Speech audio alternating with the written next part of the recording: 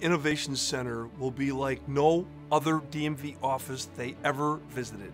It has a whole new look and feel, modern and cutting edge.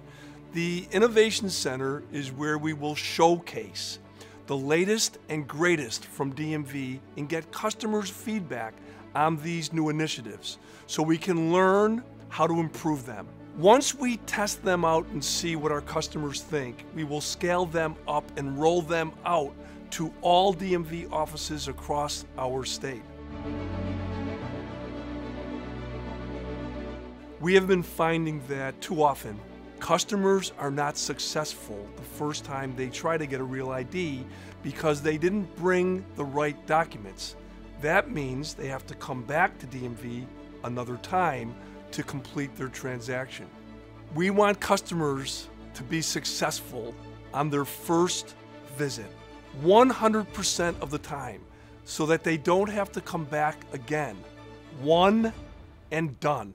When the customer is scheduling a reservation for an office visit, we ask them to digitally upload their documents with their phone or computer.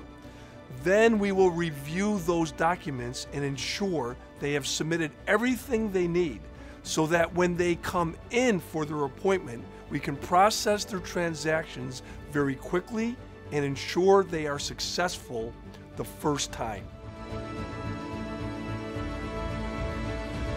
It is located in the Empire State Plaza in downtown Albany.